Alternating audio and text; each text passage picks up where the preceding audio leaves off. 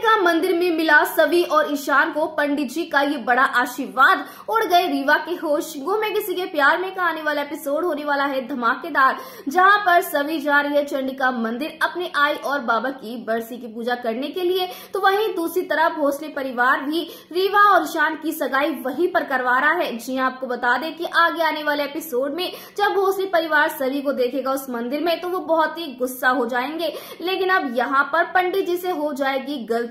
जी हाँ यहाँ पर ईशान और सभी पर वो चुनरी चढ़ा देंगे, उन दोनों को जोड़ा समझकर। और एक और बड़ी बात कह देंगे कि जोड़ी हमेशा ऐसी ही बनी रहेगी, जो सुनकर रीवा के होश ही उड़ जाएँगे और फिर से उसका गुस्सा आपको देखने को मिलेगा। लेकिन यहाँ पर पंडित जी, जब इस जोड़े को आशीर्वाद देंगे कि तो पूरा परिवार जो है शौक हो जाएगा ये जानकर कि आखिरकार ये आशीर्वाद सभी और ईशान को क्यों मिल रहा है। वेल, देखना इंटरेस्टिंग होने वाला है कि क्या यहाँ पर ये जोड़ी हमेशा बनी रहेगी। क्या आप भी चाहते हैं कि रस्म जो है सभी और ईशान की पूरी हो। तो हमें कमेंट भी शेयर करें।